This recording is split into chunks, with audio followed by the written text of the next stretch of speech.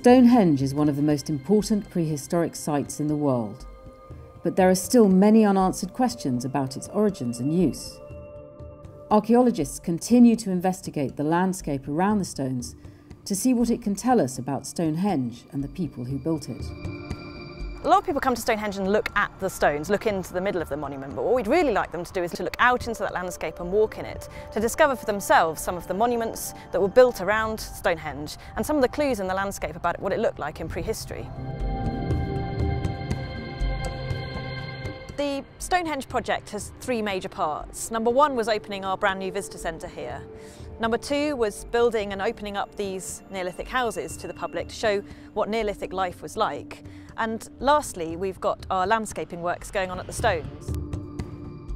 Hundreds of acres have been converted from arable farmland to grass, and there's no better way to appreciate the stones than to see them in their wider natural setting. A walk through the landscape is perhaps one of the best ways to reveal some of the secrets of Stonehenge.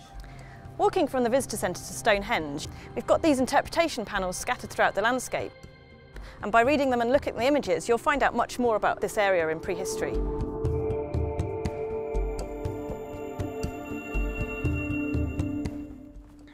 We're standing about a mile away from Stonehenge, and this huge expanse of grassland behind me is all part of the World Heritage Site, part of the Stonehenge landscape. And there are lots of humps and bumps in this landscape. They might not look like much, but these are actually barrows, round barrows. When they've been excavated, these burial mounds have been found to contain graves, often with really exotic um, grave goods.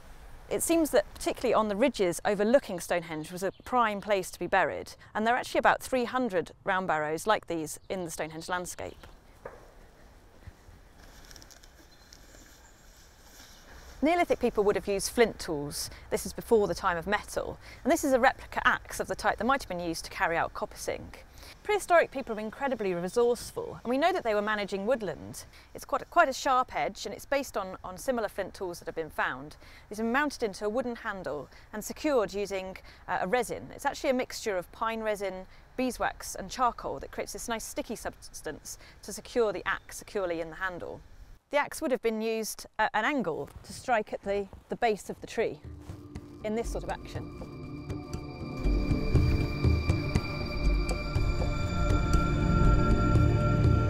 Well, sometimes it's the really small things that tell us huge amounts about prehistory. Archaeologists can use a technique whereby they look at land snails. These are snails that have been extracted from soil samples and sediments from in and around monuments.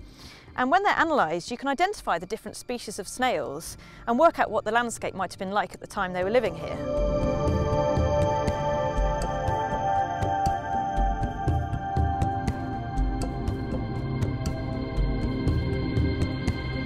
There's no better way to understand the Stonehenge landscape than by walking and exploring within it. But of course the pinnacle to anyone's visit is coming to the stones themselves. And soon they'll be within a much more dignified setting.